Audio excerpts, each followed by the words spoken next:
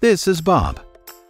Bob's taking his lunch break with his favorite sandwich, ham and cheddar on wheat with romaine lettuce and a juicy slice of beefsteak tomato. Of course, the ingredients in that sandwich traveled a long way to get to Bob's lunchbox. And we don't just mean Bob's kitchen.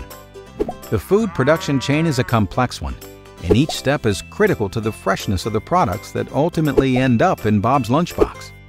To keep all those ingredients fresh, they each had to stay just the precise temperature.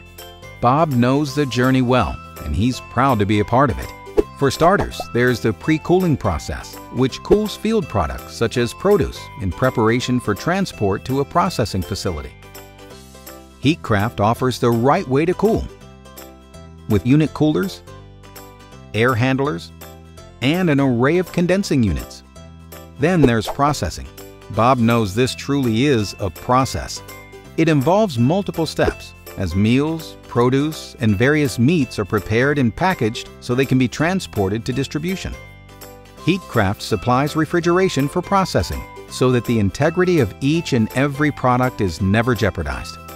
This includes a full line of industrial process unit coolers, screw compressor condensing units, and vertical air-cooled condensing units for truly sustainable solutions across the refrigeration spectrum. Bob's still got a bite or two left, just enough time to ponder the final element of the cold storage process. Distribution.